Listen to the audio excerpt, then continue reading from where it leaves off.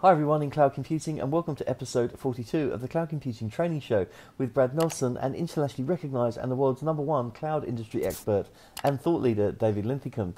This show is sponsored by Nelson Hilliard, a cloud computing recruitment specialist, placing great people in cloud IoT, fintech, and AI. In this week's show, David and I are talking about that the online learning platform Simplilearn has launched a new hire training initiative that aims to shorten the time to productivity of new recruits via a structured training curriculum, and beginners can complete before their first day on the job or within their first couple of weeks. Make sure you stay until the end to get David's top three training tips. Hi, Dave. It's great to have you on another training show this week. Yeah, it's great to be here. Great topic. Uh, it really is, and, and, I love it when we talk about training initiatives. I think it's, uh, you know, we, we love to embrace training initiatives ourselves at Nelson Hilliard. So it'd be great to hear your thoughts on this. So, you know, a great opening question, Dave, is: is do you think this is, or would you consider this to be the future of new training for new hires?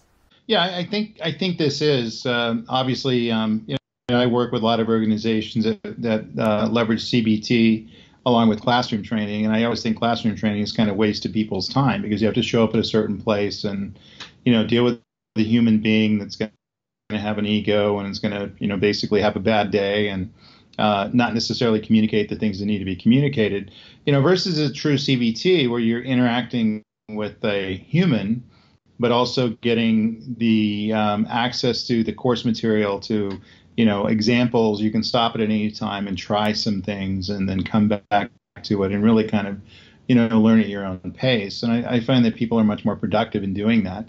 And so what they're doing here instead of giving you gra- uh, you know granular courses where you can just go and you know take courses like you're uh, eating off a buffet uh, they're allowing you to um, uh, basically set up a new hire you know kind of uh, setup where you can take them through the basics all the way to you know the details and have course evaluations and you know really kind of figure out that they're going to know their stuff. And the reality is i'd rather give this to a new hire than i would make them go to you know a, a classroom training course or you know some place where they have to every day.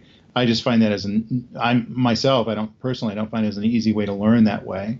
And i think most people are kind of with me. I'd rather learn in a multi-dimensional way using multimedia be able to stop start you know, figure out things, you know, be, be able to go to the test and stop the test and go back and check my, and, you know, check where I got the information from and really kind of makes it uh, a level of understanding we don't have anymore. And I, I think that uh, we reached a point, and I think this is also for universities and colleges, that uh, we're not going to, you know, need as many instructors anymore. It's going to be on demand. It's going to be online. It's going to be automated, typically AI driven and training new employees is, is basically going to be starting them into a process and then putting them through you know you know 15 20 courses you know before they're ready to go do whatever they're looking to do. And i think that's perfectly fine uh, coming forward. And i think that's uh, something that we're going to have to uh, uh, learn to understand. And i think it's core benefit to most people out there. I think millennials learn better this way.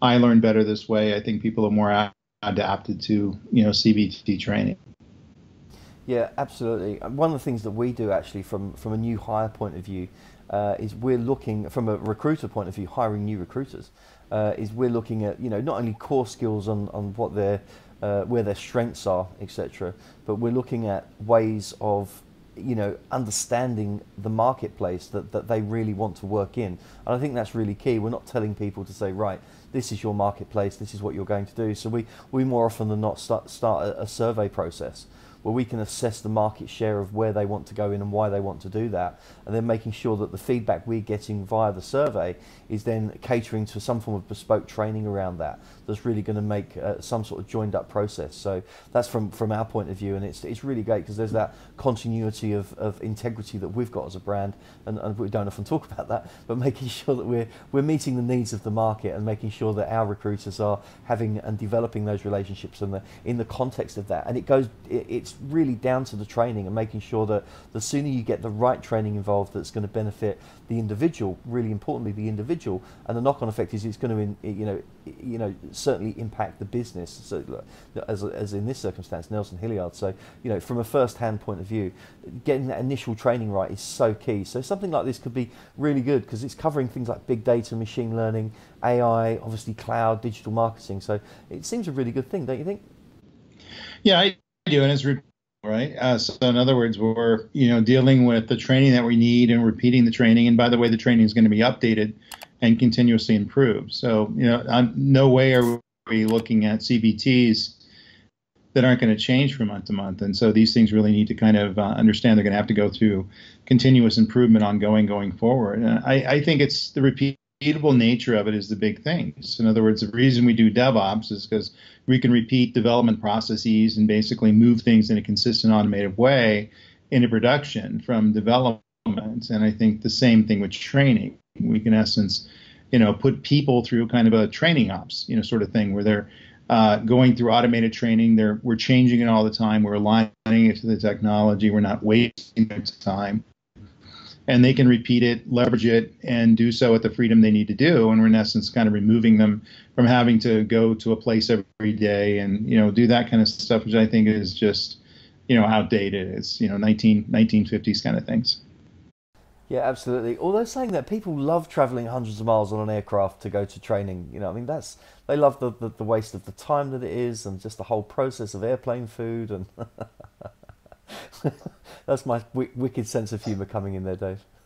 No, it's no, it's, it's some, some people actually like training. I I, I uh, think those people are kind of you know falling by the wayside.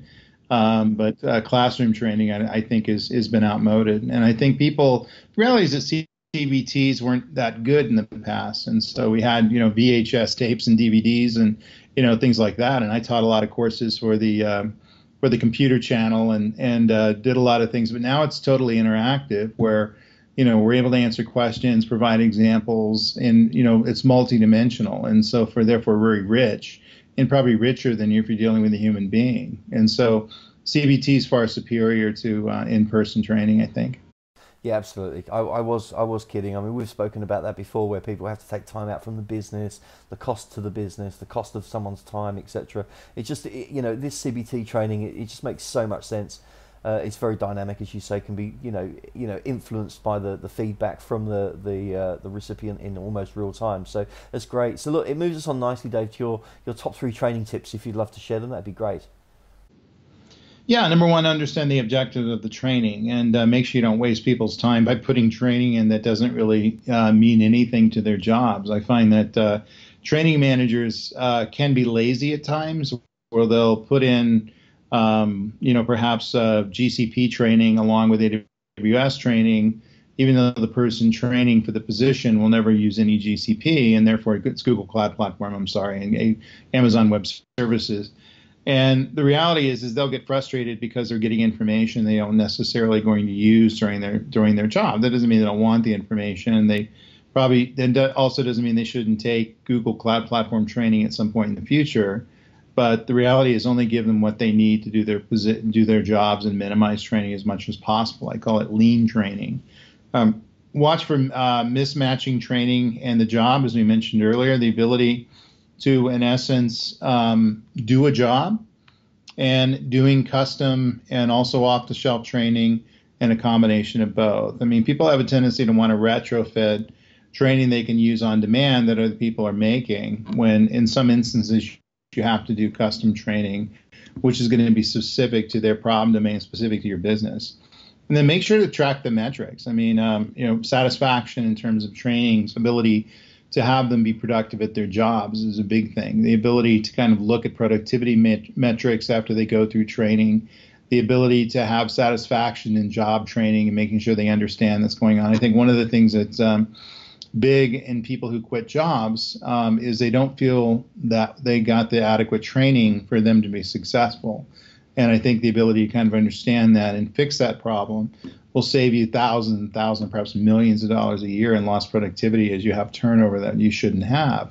And ultimately, you know, this is about doing a report card on yourself that's not only occurring once a year, but it's occurring every couple of weeks. And we're changing the training to adapt to the needs and the desires and, you know, what's going right and what's going wrong in the business. And, and that's a continuous improvement that's always been lacking in training. I think it's something that should be there systemic to it.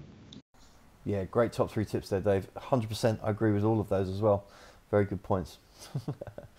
Thanks for being part of the uh, training show this week. It's always a pleasure, man. I nearly forgot what show we were on then. We've had so much fun this week. Thanks for watching, everyone. We really hope you enjoyed watching this week's show. And remember, you can reach out to David on Twitter, which is at David Linthicum, and myself on Twitter, which is at Nelson underscore Hilliard. We're also on Instagram, Facebook, obviously YouTube, Twitter. So check us out and make sure you follow, connect, or reach out. We're on LinkedIn as well. I forgot to mention that on the two previous shows this week. So you can reach out to, to David on Twitter and myself on Twitter as well. So, um, uh, LinkedIn, sorry, uh, which would be great. And remember to like, subscribe, comment, and share this video with your friends and with your colleagues. And also click the notification bell so you don't miss out on the future shows coming up. Thanks for watching, and until next week.